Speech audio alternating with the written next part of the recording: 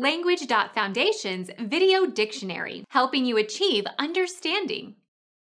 Fast-running African flightless bird with two-toed feet. Largest living bird. Struthio camelus.